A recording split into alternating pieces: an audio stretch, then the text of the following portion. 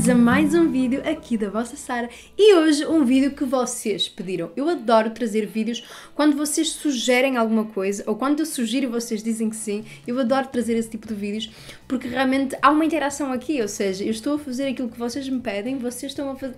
Estão a ver? E hoje, como vocês já viram aqui pelo título do vídeo, eu vou obviamente fazer aquilo que vocês estão à espera, que é a primeira vez com os pincéis da Primark. Eles são lindos, amorosos, maravilha, maravilhosos. São lindos, não são? Gente, só esta embalagem vale a pena. Vocês sabem que eu ali, estão a ver ali aquelas coisas fofas? São muito parecidos em termos de cor e design, estão a ver? Mas estes aqui são pincéis de olhos. Não tenho muitos pincéis de rosto. Eu vou deixar os links destes dois kits, porque são dois kits, um de rosto, um de olhos. Eu vou deixar aqui em baixo na caixa de descrição para vocês também encontrarem facilmente, porque vocês perguntam-me imenso onde é que são estes pincéis. Portanto, eu vou deixar na caixa de descrição. Estes eu compro no eBay, eu encontro só online. Estes aqui como eu encontrei em lojas físicas e eu pensei, bem, toda a gente me pergunta, eu tenho que dizer às pessoas onde é que elas podem encontrar em lojas físicas, né? Porque eu sei que muita gente não gosta, não faz, não aprecia uh, fazer compras online. Portanto, eu respeito essa opinião e acho que é importante eu também vos dar opções não só online, mas também em lojas físicas. Então eu encontrei estes na Primark, loja linda do meu coração, né? não é verdade? E o kit traz 5 pincelinhos e custa 8 euros. Então, este aqui o pincel, primeiro pincel diz que é de base, este de pó, este de blush, este de contorno, que é assim meio angular, e este para o corretor. Não sei se eu vou usar isto para estes propósitos, mas a verdade é que eu vou experimentar, testar tocar pela primeira vez nestes pincelinhos convosco. Como eu disse no vídeo da Primark, que eu vou deixar aqui para vocês verem, onde eu falei destes produtos e de milhares outros que eu comprei na Primark, um, mesmo que estes pincéis não sejam bons, eles são lindos, portanto eu comprei para testar para vocês, para vos dar a minha opinião, mas porque também são lindos e vão ficar bem ali juntos com os amigos, porque eles são exatamente iguais, estão a ver? Muito, muito parecidos. Portanto, minha gente, eu vou-me aproximar de vocês e nós vamos experimentar estes babies together. You and me, me and you. Muy bien, personas, aqui estou eu e minhas amiguitas, que lindas. Vamos abrir a cajita. Então, aqui estão eles, tão bonitos. Este, então, o de base, este de pó, este de blush, este de contorno e este de corretor. Vamos ver. Então, começando pelo de base, não brinquem comigo, né? Tipo, que é isto? Tamanhinho de pincel de base é este? Para vocês comprarem sim o tamanhinho, eu vou-vos mostrar. Este aqui é o da Zuiva, que é um dos meus favoritos, e este é o da Primark.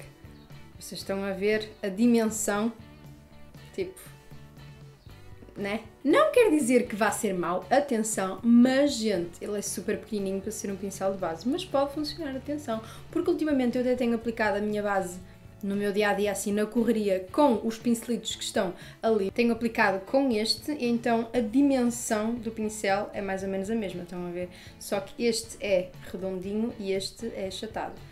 Portanto, para o desenrasque, para o dia a dia, eu acho que até vai funcionar, não sei. Em termos de fofura, muito, muito fofo. Os pincéis da Primark, eu já vos disse há algum tempo que eu já uh, testei os pincéis da Primark há muitos, muitos anos, quando eu ainda nem sabia o que era maquilhar-me em condições. Portanto, eu já conhecia mais ou menos os pincéis dele e gostava da qualidade. Uh, de qualquer das formas, agora chegou a altura de eu testar depois do conhecimento de maquilhagem que eu já tenho. Pincelito de pó. Não sei se vocês estão a conseguir ver.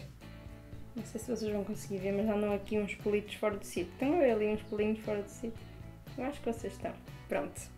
Not good, mas fofinho e acho que vai apanhar definitivamente muito bem o, o, produto. Eu gosto quando eles são assim um bocadinho menos densos, sabem? Ele está tipo assim, o que vai fazer com que a aplicação do pó seja muito mais suave não vai ficar tipo assim e vocês não conseguem chegar mais perto. Por acaso é muito, muito fofo. Este pincel de blush, supostamente, eu acho que vai ser ótimo, perfeito para aplicar corretor. Eu já andava há algum tempo à procura de um pincelito assim, neste formato, uh, tipo de pó, mas pequenininho, para aplicar o corretor.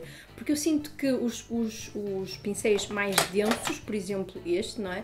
Para aplicar corretor fica tipo muitos risquinhos. Eu acho que se nós aplicarmos assim como se fosse pó, acho que vai ficar melhor. Mas de qualquer das formas eu vou testar isso pela primeira vez aqui com vocês. Pincelito de blush, também muito pequenininho, mas assim bem fofinho. Não é tão fluffy como o de pó, é um bocadinho mais denso. Não é mais denso, mas tem as cerdas mais juntinhas, o que faz com que não seja tão fofo, estão a ver? Não sei.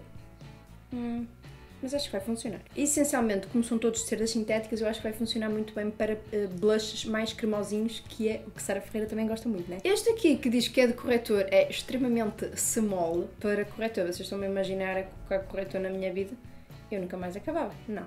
Eu não gosto de pincéis pequeninos para áreas grandes. Portanto, este aqui vai ser pincel de sombra de olhos, provavelmente. Então, pessoas bonitas, eu vou começar pelo rosto. Vou começar então pelo pincel de base, supostamente, né? E vou aplicar a basezinha que eu tenho adorado nestes, nestes meses que é muito levezinha, mas é o meu tom perfeitinho. Eu tenho gostado muito dela, que é esta da Corres, que eu recebi num vídeo, uh, num vídeo, que eu recebi numa caixa do Wonderland Box. Eu vou deixar aqui, já não tenho mãos para vos apontar. Eu vou deixar aqui neste cantinho, vou-vos deixar o vídeo, o último vídeo, em que eu também uso esta base da Wonderland Box, que tem uma surpresa muito, muito especial. Portanto, passem por lá, vão ver o que é que é.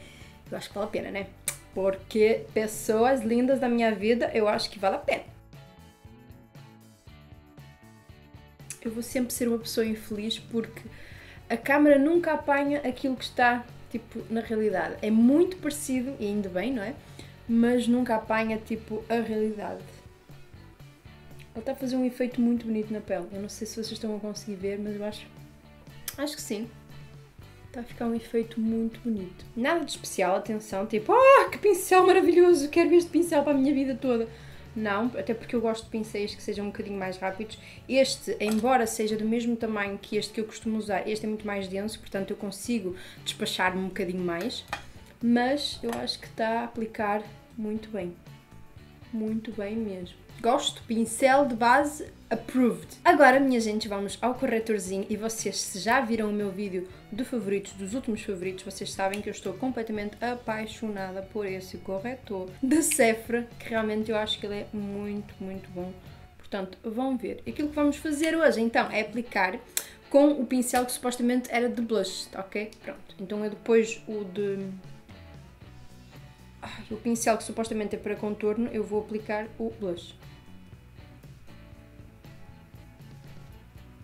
Exatamente. Assim como eu supunha, esse pincelinho, aliás, o que eu tinha pensado era tipo um pincel assim fofinho como este para aplicar o corretor. Olhem que perfeição. Lá está, vocês na câmera eu acho que vocês não conseguem ver, mas tipo, em segundos eu corrigi a minha olheira e ficou um aspecto super natural. Adoro! Meu amor, tu vais ser muito meu amigo. Muito, muito, muito. Sabes porquê? Porque eu vou-te usar muito dois pincelinhos e os dois aprovados. Agora vamos para o pincel de pó e este, minha gente, eu vou utilizar, vou fazer aqui uma first impression, não só disto, como disto, que é este pó tão fancy que tu fez, enviou para a Sara. E a pessoa vai experimentar aqui em câmara com vocês, como assim, é verdade, queridas, vamos lá. Super esvoaçante, não sei se vocês estão a ver. Acho que não, vocês não estão a ver nada, é super fininho. E vamos aplicar super fininho, não é assim tipo. A primeira impressão não é tipo oh, que espetacular, que pó maravilhoso, mas faz um bocadinho de blur na pele, o que eu gosto, e realmente tipo seca a maquilhagem em segundos. Portanto, adorei. E pincelito, como eu achava, lá está, ele Desliza muito bem pela pele, não é demasiado denso, sabem? Então funcionou bastante bem. Três pincelitos, os três aprovados. Vamos agora ao blush. Eu vou utilizar este fofinho, este pincel assim, de contorno supostamente, mas que eu vou utilizar como blush. E vou utilizar este fofo que eu tenho adorado também. Na, no vídeo do Wonderland Box eu testei, eles enviaram-me este blush e eu testei e eu fiquei tipo encantada da minha vida porque este blush é lindo, maravilhoso fabuloso, coisa linda da minha vida. Gente, ele é muito, muito, muito, muito espetacular, muito suave. Ah, este pincel vai ser perfeito para ele. Oh, ele é tão natural, eu não sei se vocês conseguem ver a diferença, mas é tão natural que, tipo, ninguém diz que aquela pessoa tem blush na cara. Não. Tipo, é a tua pele que é naturalmente rosadinha, fofinha, maravilhosa. Lindo. Gostei também. Quatro pincelinhos, os quatro aprovados. Voltei um bocadinho low kitsch com estas sobrancelhas kitsch, mas atenção minha gente, vocês só parecem kitsch quando preenchem as sobrancelhas porque não têm absolutamente nada nos olhos, estão a perceber? E então fica assim um bocadinho low kits. Mas quando eu fizer a maquilhagem, vocês nem vão reparar que as sobrancelhas estão low kits, porque elas não estão. Elas estão de acordo com o meu cabelo, elas estão naturais, tá? Agora vou utilizar esta paletinha da Nabla, que está num excelente estado, como dá para perceber, e vou de uma forma muito rápida, entre esta e esta cor, fazer a marcação do meu côncavo. Coisa rapidinha, tá, gente?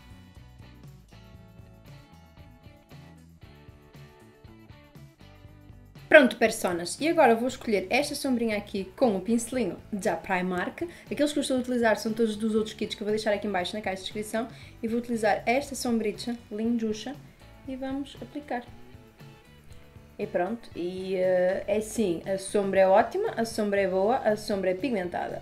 Mas o pincel também ajuda, né? Portanto, pincel também aprovado. Pronto, personas, vou só fazer aqui uma marcaçãozinha, aqui, e a nossa maquilhagem está pronta. Vou aplicar máscara pestanas, que também fiquei apaixonada, surpreendentemente, porque não vou explicar, mas se vocês quiserem vão ver esse vídeo também do Underland Box, em que eu falo sobre esta máscara pestanas e pronto, e vão lá ver o que é que eu achei. Porque realmente eu disse não vou gostar desta bicha e afinal gostei.